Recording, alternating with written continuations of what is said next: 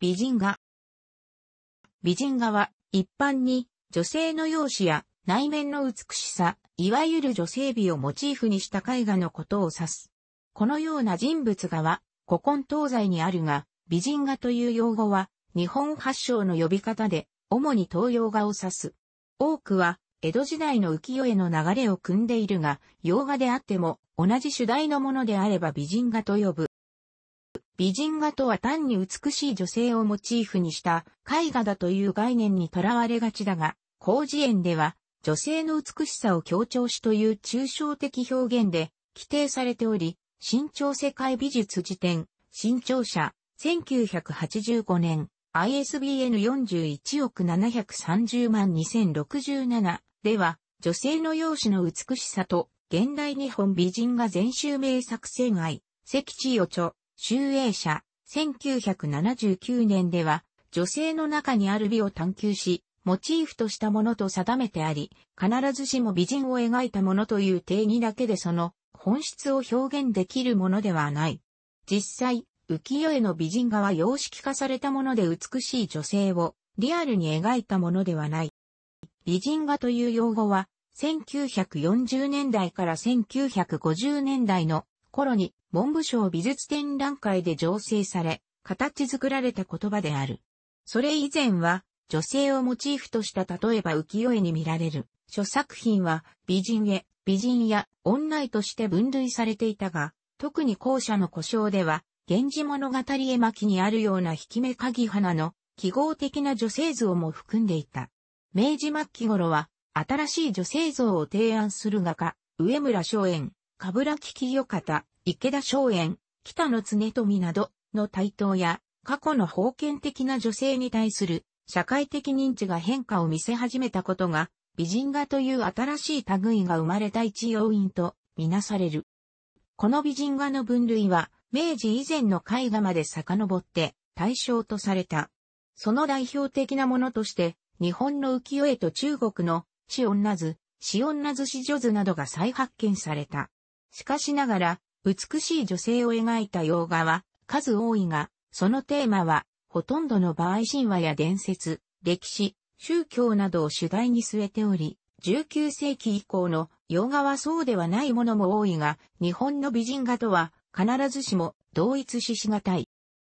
その一方で、美人画に描かれる対象は、必ずしも女性に限らないとの考えもある。主導における若手や、歌舞伎のお山を描いた浮世絵も、美人画のうちに含める場合がある。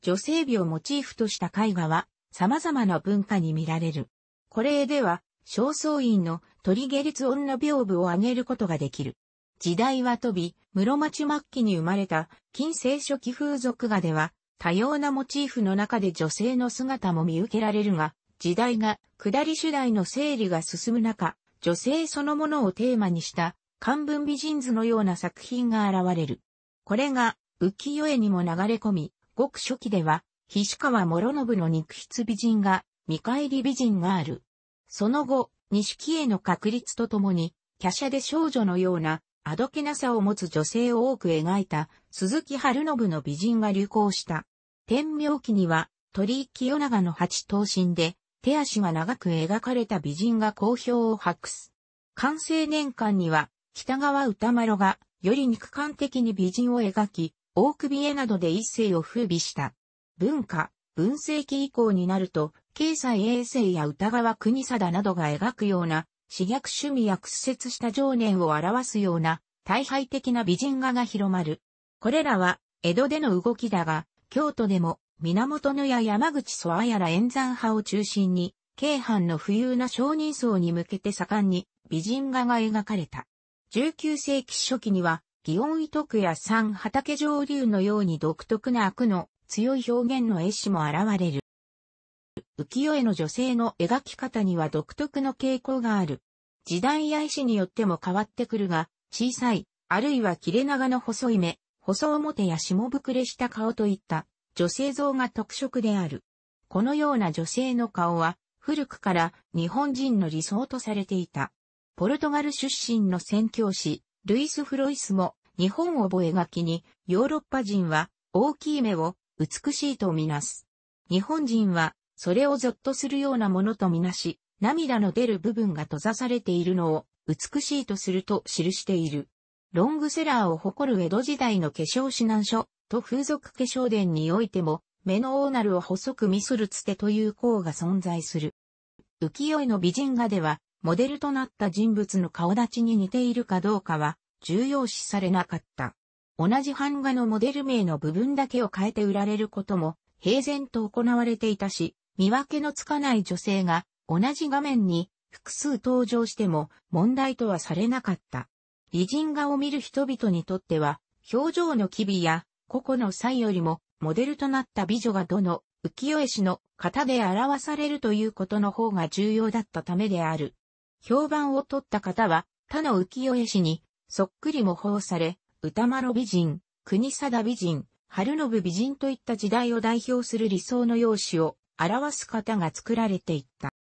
このように浮世絵の美人画は、吉原の遊女や町の看板娘など、当世の美人が理想化されているが、江戸から明治の浮世絵美人画の発展の経緯を俯瞰すると、時代が進むのに応じて彫り、すりの精度や色彩の鮮やかさが高まっていく、浮世絵版画全般に共通する。技術的進化が顕著に反映されていること、さらにそれぞれの時期の美人画を代表する絵師たち、その時代に生きる。実在の美人の姿を。最大限に描き出そうとして、個々の表現に工夫と独創を凝らしていく、リアリティの追求による。表現様式の進化をたどっている側面があると指摘されている。明治時代になっても浮世絵では幕末からの様式を引き継ぐ美人画がしばらくすられていた。大正時代は竹久夢二が夢錦美人と呼ばれる浮世絵風の様式と大正ロマンを融合させた美人像で気を博し、夢二の美人像は現代に至っても非常に人気がある。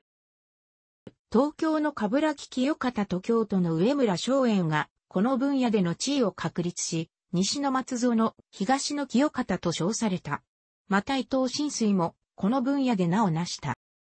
明治後期から大正にかけて美人画が企業の広告ポスターとして印刷され、出回るようになる。百貨店、客船、鉄道、石鹸、ビールなど、当時の清掃、風俗を今に伝える媒体としても興味深い。